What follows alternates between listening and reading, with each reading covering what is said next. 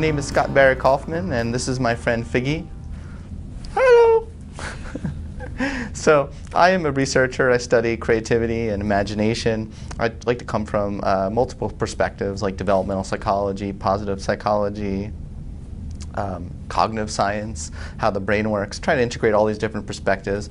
I do think that in education, business, um, lots of environments where we manage people and we're trying to um, have people produce or, or, or work, uh, we leave out all the important aspects of um, positive psychology, a lot of aspects that are really the activators of possibility. And we focus a lot on, um, on these kinds of what we call cognitive abilities or cognitive traits, things like intelligence or IQ and um, uh, literacy and logical reasoning and rationality and the ability to, um, you know, deliberate practice is, talked about a lot and how to do a, a, a direct sequence or get to where you want to go in a very prescribed fashion and, you know, working really hard to do that that. But when you look at creativity and you look at the greatest creative geniuses of all time, you find a lot of them were, uh, were they didn't really have quite a linear path to getting from uh, from the great vision they had to the creative outcome. What they tend to have is what I call messy minds.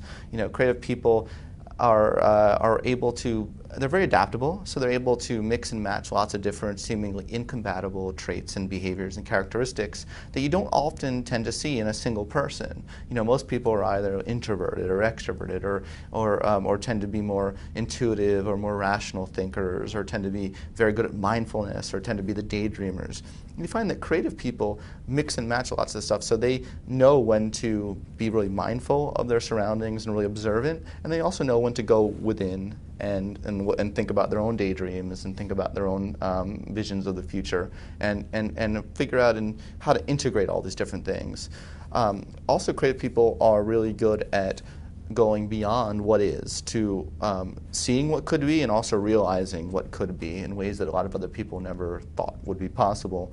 That's what I find personally very interesting when, when I study creative people is being able to see how they are able to have some sort of vision of a reality that doesn't currently exist. And um, many of us intuitively call that imagination, you know. I love imagination. Okay. Um, so imagination is really, really important, and I think it was really undervalued in an educational. Uh, I would say it's undervalued in our society at large. You know, we don't uh, measure for imagination. We're picking gifted and talented students in education.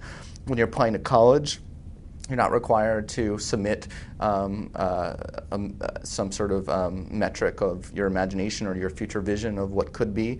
Um, when you apply for businesses, you often don't, although there are definitely exceptions. Um, so we clearly don't value it as much as we, as I think we should. Imagination is a necessary but not sufficient condition for creativity.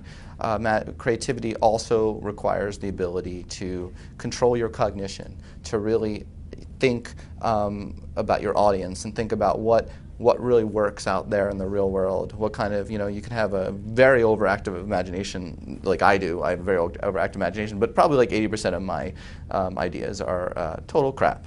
So it's really important to um, to really sort out the ones that are just, you know, like, okay, well, that version of reality or education probably won't work, from those that, you know what, there might be a possibility there of taking that one, culling that one, and really developing that.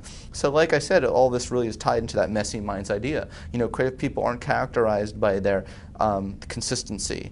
Um, they're characterized by their variability. They're characterized by their trial, their, their ability and willingness to have lots of trial and error, their ability to um, not be hindered by what is, okay? Because we often reward people in, in the world who um, do what people ask them to do, or, or, you know, like, good job, you got an A, you learned that, that paper. But creative people aren't characterized by that. They're characterized by ability to inhibit the pressure to conform and to go beyond to what could be.